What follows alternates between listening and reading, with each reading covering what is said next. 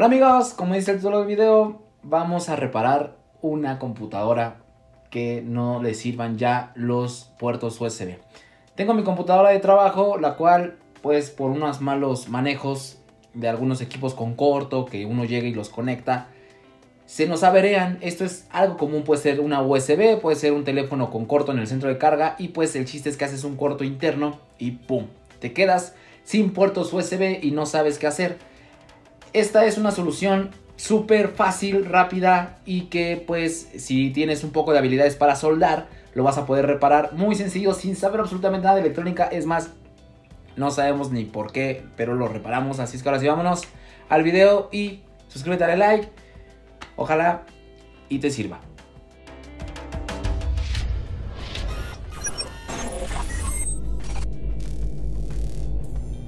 Y bueno, ya aquí está desarmada. Está desarmada. Perdón un poco el desorden detrás. Vamos a utilizar un tester y yo en este caso lo voy a utilizar este. Porque ahorita les voy a enseñar. Ya quité toda la tarjeta. Lo primero que vamos a hacer. Bueno, les voy a comprobar primero. Porque les digo que tiene falla. Esta tiene una USB, digamos que integrada, soldada a la tarjeta madre.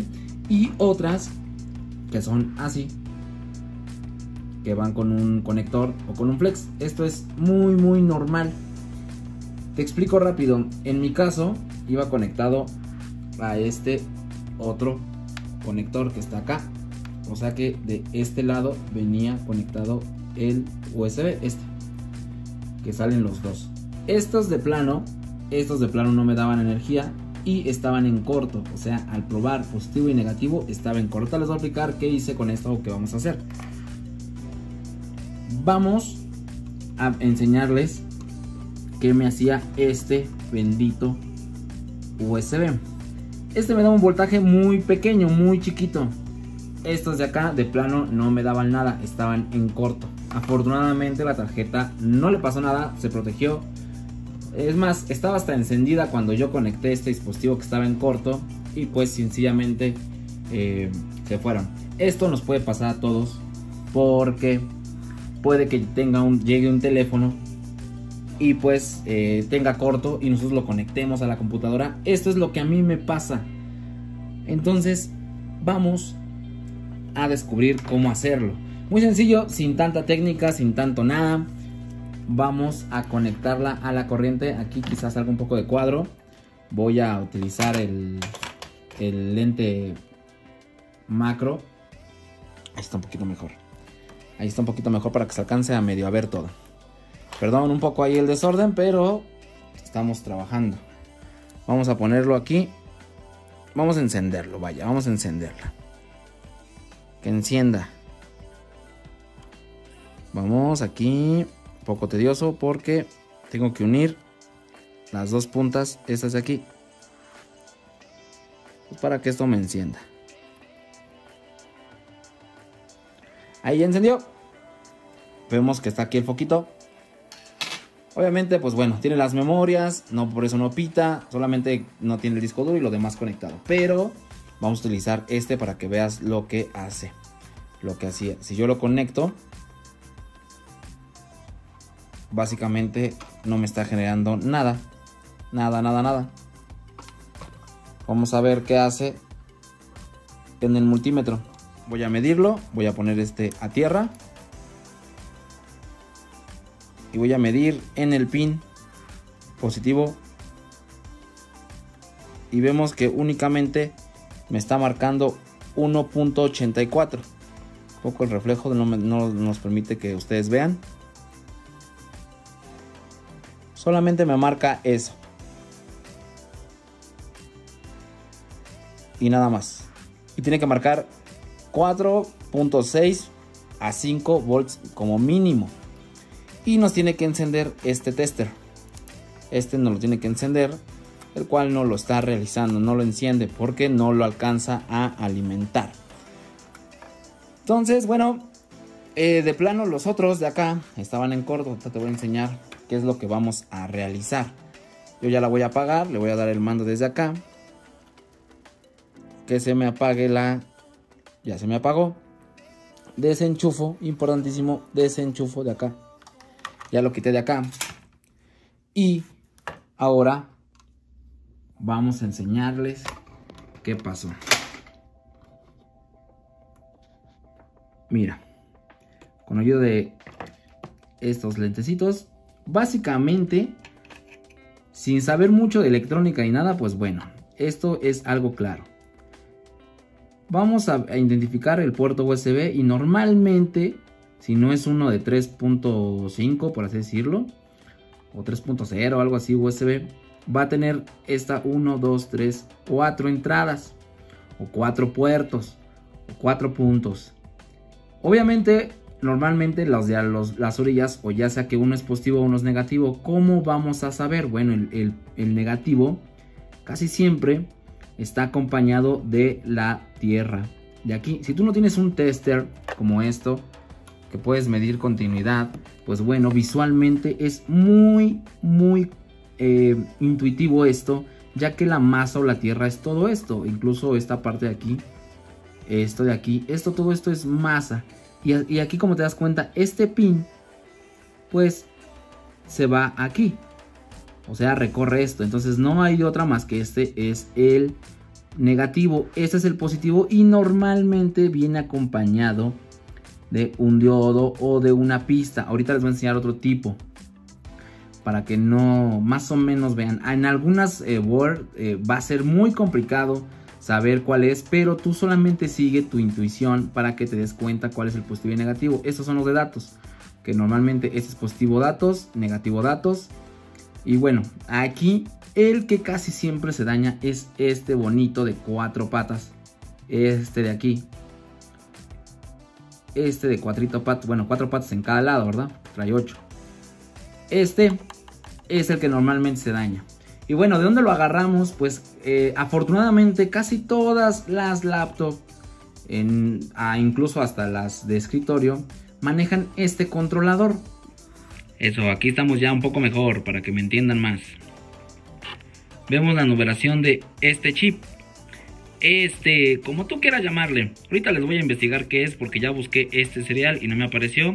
Vamos a buscarlo en otra, en otra, eh, digamos que tarjeta, otra Word de otra laptop y vemos qué onda. En este aquí sí tengo 5 voltios. Aquí pasan acá. El problema que acá, estas tres patitas de acá, solamente avientan uno. Quiere decir que aquí algo está pasando que no me permite que tenga la corriente suficiente para allá. Este es el problema en este puerto. Entonces, como les comentaba al principio, yo comencé dañando este. Después se me dañaron los otros dos y cuando ya me quedé sin puertos me decidí a repararlo. No tenía mucha idea de cómo realizarlo, ya que eso de las laptops eh, muy un mundo muy complicado, pero vemos que es súper, súper eh, sencillo dar con, con, esta solución. Si tú tienes algo de experiencia con cautín, pistola y cambiando estos componentes, pues lo vas a poder realizar así como yo, sin saber mucho de estos componentes, solamente observando. Y mira, nos vamos volviendo expertos cada vez. Eso es lo importante. Lo que vamos a hacer es reemplazar esto, buscarlo. Vamos a ver que son cuatro patas de un lado, cuatro patas del otro. Y algo importantísimo que tú tienes que ver y percatarte de lo que estás buscando es que, fíjate bien la configuración de dicho, dicho bichito este. Trae una bolita aquí, quiere decir que nos está indicando que, eh, de qué lado va. Entonces es importante que, si, que tú, el que encuentres, te fijes de la bolita. Otra cosa importantísima es que te estás dando cuenta que de la parte de aquí abajo, este trae uno que va a tierra, que es el primero, por así decirlo, aquí donde está la bolita. Estos son los dos positivos y este es otro que no es tierra, porque ya lo medí, quién sabe que sea, pero pues no da ni uno ni otro Así es que debe de estar funcionando. Si tienes tester y están pegados, pues este no te va a funcionar. Pero fíjate bien en la configuración. Los dos del medio son los de la corriente. Estos dos son completamente aislados. Y por el otro lado, los tres de arriba, pegados al que era corriente y la bolita, son juntos. ¿Por qué? Porque la misma pista los une. La misma pista los une. Quiere decir que son positivos y queda uno sobrando. Que quién sabe de qué sea, pero pues queda sobrando con esto vas a saber qué hacer. Vámonos a la otra tabla que yo intenté reparar, así como me dio a entender. Aquí, aquí, esta es la de los dos USB que están separados. Aquí trae uno igualito al que te estoy enseñando allá. Digo igualito porque al final de cuentas sí es distinto porque trae otro número de serie. Pero trae una configuración igualita. Igualita, igualita. Ahorita se los voy a poner aquí en pantalla. Traía este. Mira, aquí trae su bolita. Trae las cuatro patitas de un lado, y pues normalmente vendría estando así. Si tú te perdiste dentro de las bolitas, pues con la misma configuración que te comento, tú le vas a dar.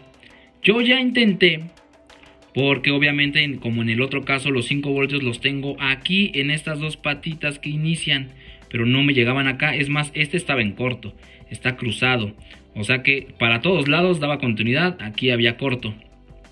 Eh, ¿Qué pasó? ¿Qué hice? Pues bueno, lo quité, el corto se fue. Nunca me llegaron los, voltajes acá. Entonces yo lo quise pasar, que aquí sí tenía 5 voltios con un puente a los 3 puntos de acá, como te expliqué hace rato. Pero no basta porque solamente da voltaje, pero no lee datos. Por alguna razón extraña no lee datos, entonces eso no es lo correcto.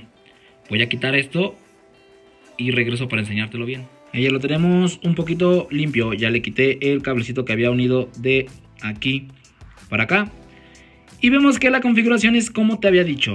Los tres de arriba van unidos. El de acá solitario.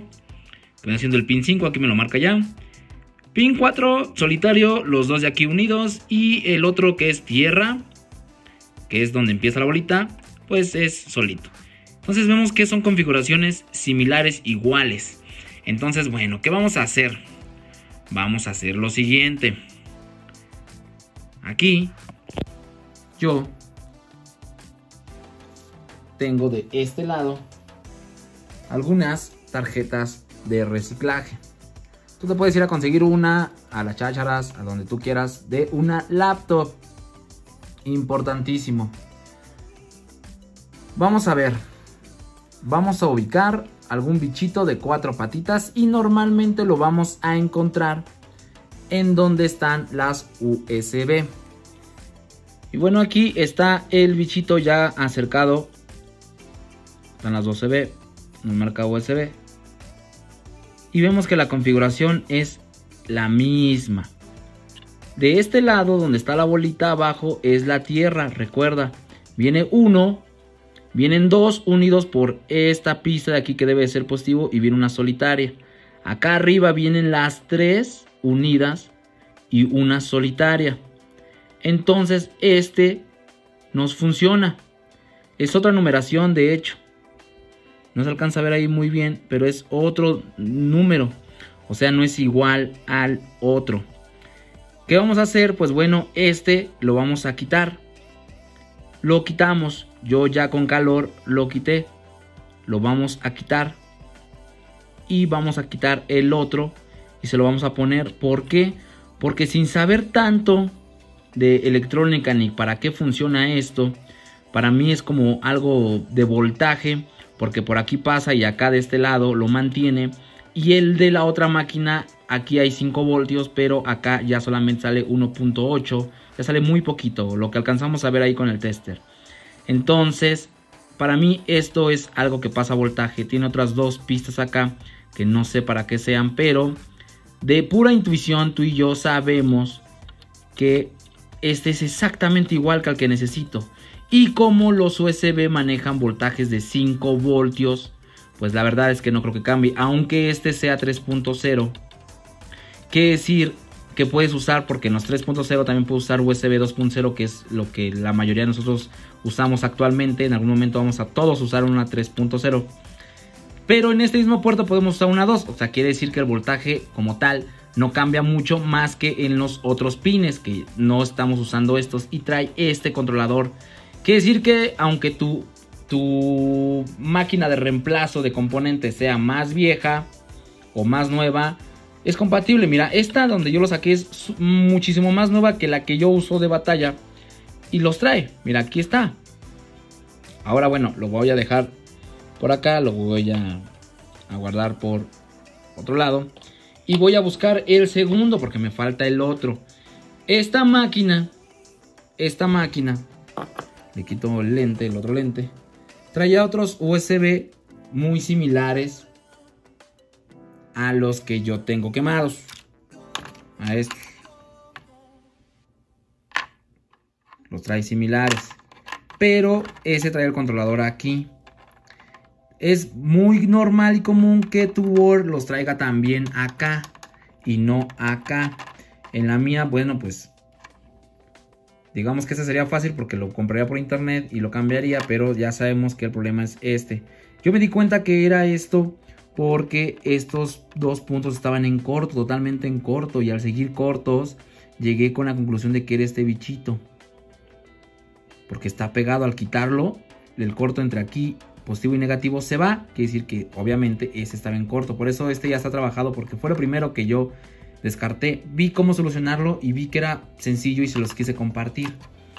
Ahora, esta otra trae algo igual, pero aquí no es tan fácil porque no lo trae, tendríamos que buscarlo en NavoArt.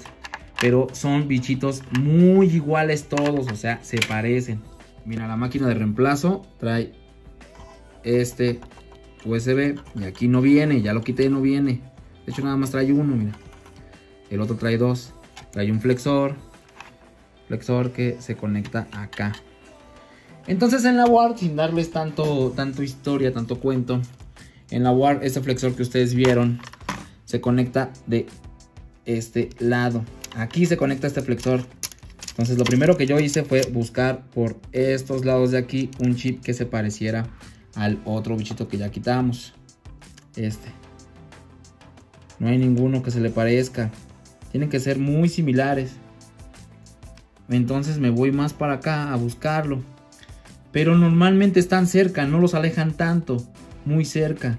Mira, aquí quizá podríamos ver que venía, pero no, vamos a buscarlo, vamos a buscarlo. Este bichito, ese es el que el quemado, mira, de hecho ahí en, medio se ve como que quemado ya. Ese es el que estaba en corto, que es el mismo que vamos a reemplazar de la otra.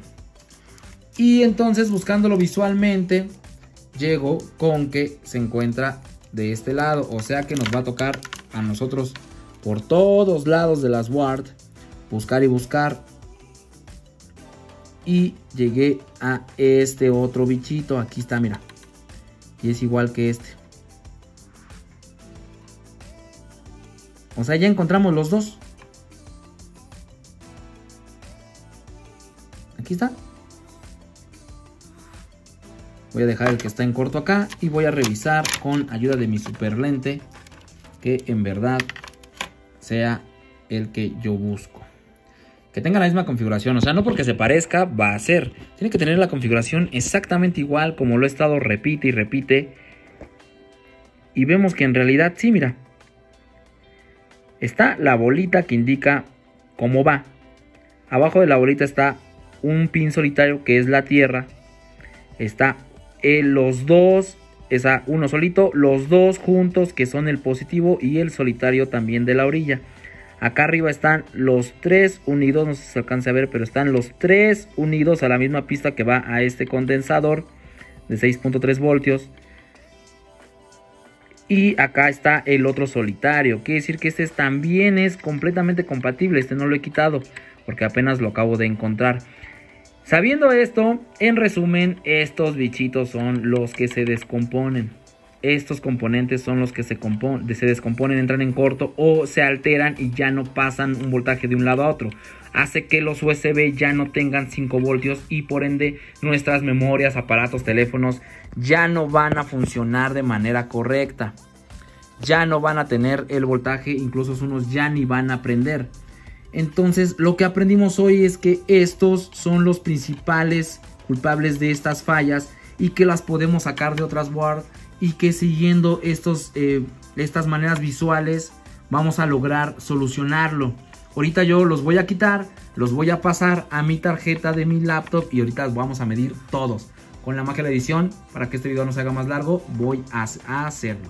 Y bueno, ya terminamos, ya reemplazamos todos, bueno, más bien los dos componentes. Aquí está este, acá, ahí quedó. Como lo soldamos, pues con estación de calor. Rápido y con una sola mano para poder grabar el video. Ahorita limpio esta zona con alcoholito para que no quede así de sucio. Pero pues recuerda que esta bolita normalmente está del lado del negativo que está solito. Siguen los dos positivos. El otro solitario, los tres unidos que son los positivos. En donde acá arriba salen los 5 voltios. Y el quinto, marcado como el quinto, de acá también está solo. Que ninguna se pegue. Checamos con tester que este y este no estén en corto, o sea, no tengan continuidad este y este. Y si no, pues bueno, ya solamente queda probar. Lo mismo para este. La bolita del lado del positivo. Y si tiene una bolita que está igual, pero al revés, digamos que esté acá, solamente sigue la configuración de lo que te digo. Los tres unidos de arriba. Con eso te vas a guiar y vas a ver que es súper fácil encontrarlos. Así gracias a estos y a las otras laptops que tengo ahí de, reciclado que se quemaron en algún momento o que simple y sencillamente me las vendieron quemadas, yo pude dar solución a este, a este tipo de avería de mi computadora compañera que es la que con la que trabajo normalmente día a día para la reparación de equipos y desbloqueos de cuentas. Pero bueno, nos metemos en esto eh, sin saber un poquito lo de las laptops, pero pues sí siguiendo la intuición básicamente. Entonces reemplazamos esos dos que sacamos de otras y vamos a probar.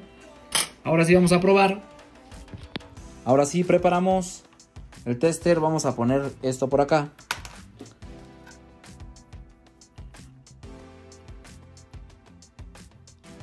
Vamos a conectarlo. Aquí está conectado.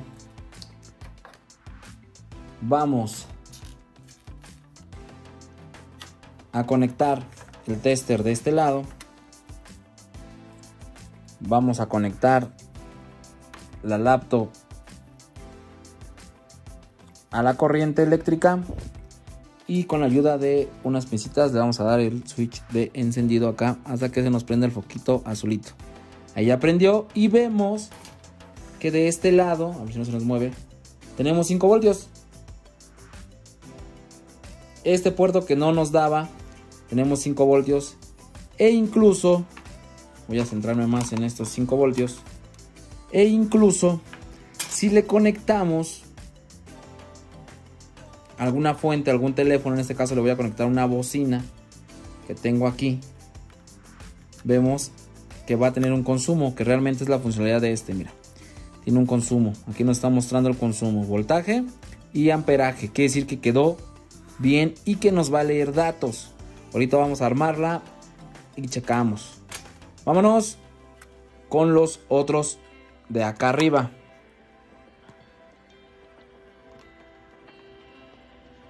Estos de aquí. Estos puertos que estaban en corto.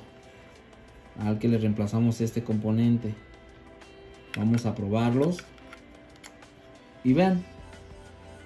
Regresaron los 5 voltios.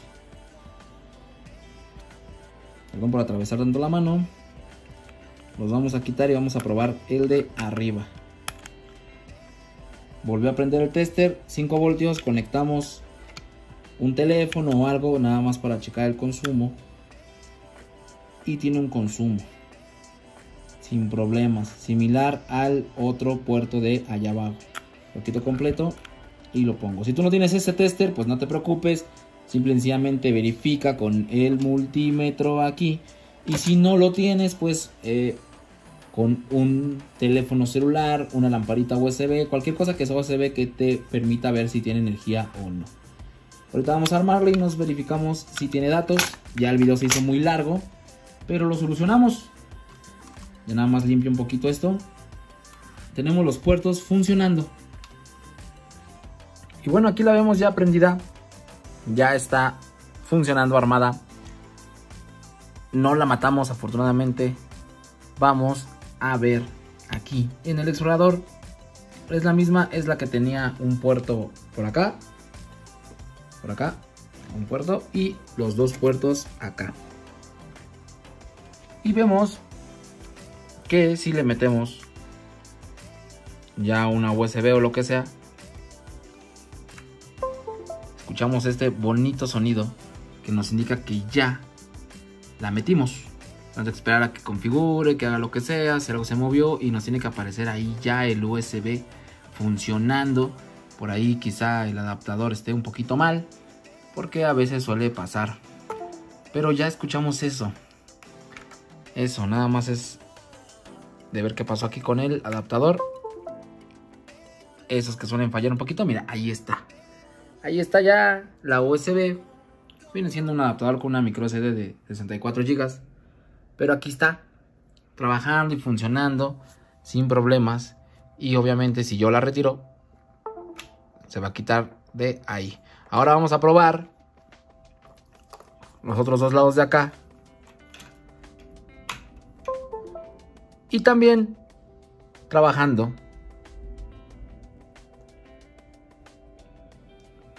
sin problemas.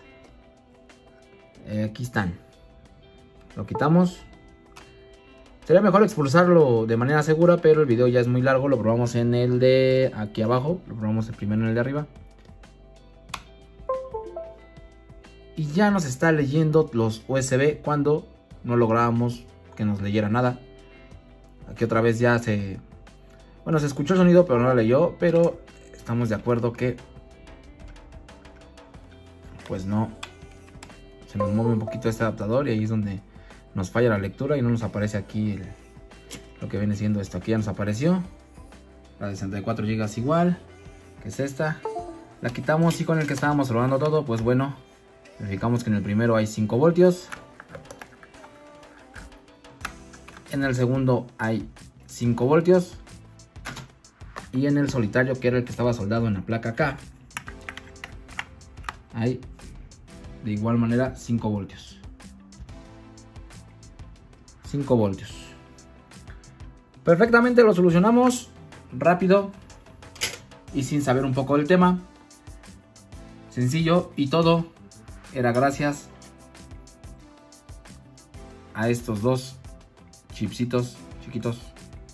A ver, ahí, enfoca, enfoca, enfoca, no enfoca. Vamos a hacer la prueba para que vean que tiene el consumo también.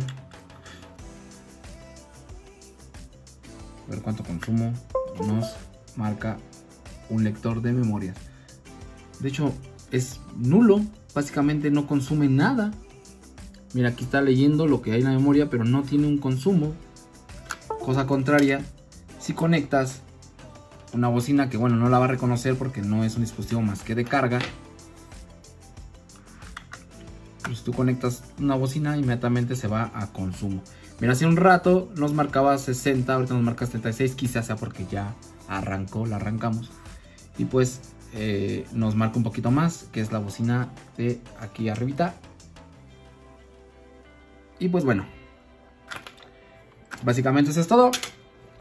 Lo logramos. Nos vemos en el próximo video. Suscríbete, dale like y pues espero y te sirva.